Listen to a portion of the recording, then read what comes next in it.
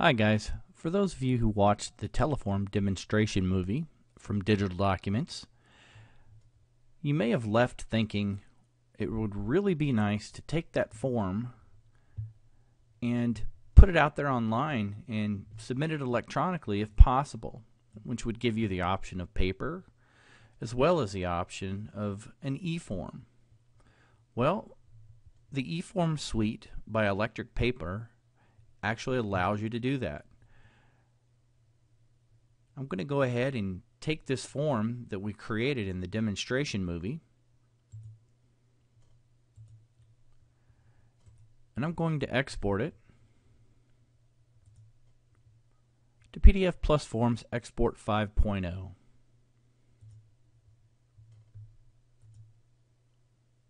We're going to put that on the desktop because we need to put it out on our web server afterwards.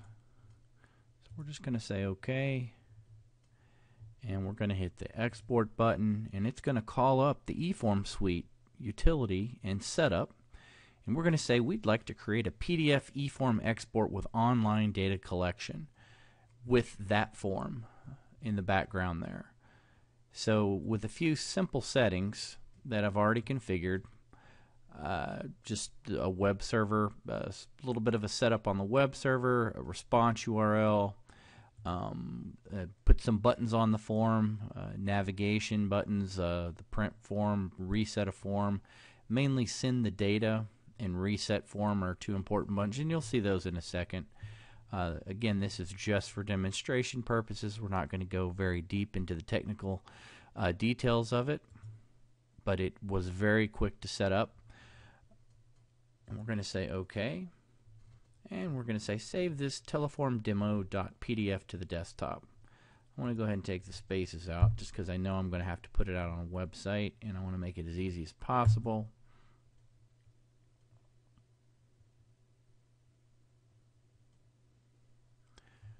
There we go, and that's okay. The viewer I'm using isn't actually uh, ready for what I'm trying to do. That's okay. So now we have a PDF with print form, reset form, and send data that was created from Teleform but exported via Electric Paper's eForm suite. As you can see, we still have the elements required for paper collection. So that becomes an option when you start thinking about how you want to distribute the form. You could have two different versions of the same form within Teleform. One of them could include the the recognition objects, the cornerstones and the block ID for printing and sending out and having them manually filled out. And you could have another um, version of the form that would be just for electronic submission and you could remove these objects. So that's a choice inside of Designer, something you have to think ahead of.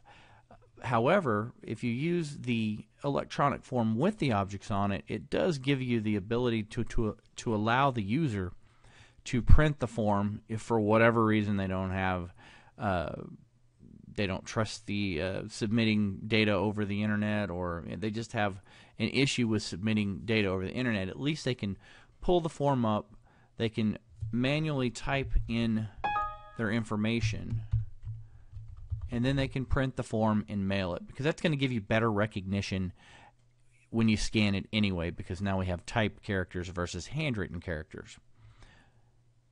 But we're going to go ahead and save this, or not save it, I mean, we're just going to close this. And if we go to our desktop, we do have a teleformdemo.pdf file and I'm going to take that and put it on a web server and be right back. All right, so what I've done is I've uh, got that form out on a website now. Uh, that's what happens after you publish the document as either a PDF in this case for this demonstration, or you can also export it as an HTML form, which we'll be doing another demonstration movie shortly because that is very useful for doing tablet uh, capture, uh, pulling documents on uh, up on a tablet and submitting them. So for this movie, we're going to finish out with the PDF. Again, it's been put up on a website, which we're going to go to. So we have a little DDocs PDF fillable test page. And here's the link for our Steve Simple demo form. Simply click it, and there is our form, uh, along with our PDF controls for looking at a PDF in a browser. Uh, it's very compatible with Adobe's free reader. Nothing needed on the client side as far as uh, purchasing.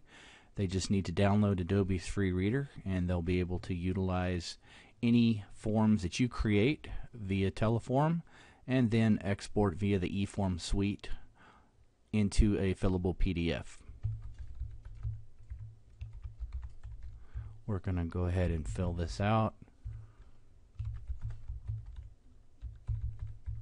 And what we're going to realize about filling this out electronically, we could again print the form. If we made a mistake, we'd reset the form.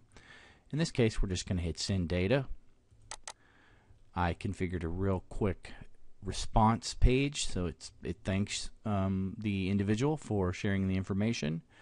You could configure a uh, an ASP page that pulled the first name out of the form and said, Thank you, Steve, for sharing your information with us. Uh, that's completely up to the uh, entity utilizing the product. However, now that I've submitted that, the reader is set up and just needs to be running. It's actually already processed that. It's very, very almost instantaneous, and there's no need for verification. Whereas on the paper form, we needed to verify it. Well, with the electronic form, there's no need for verification. So if I go look in the test.mdb, uh, see that our data is already there. So processing via electronic uh, submission is instantaneous, near instantaneous, utilizing the eForm suite for Teleform by Electric Paper. Thank you for your time, and we hope you found this demonstration useful.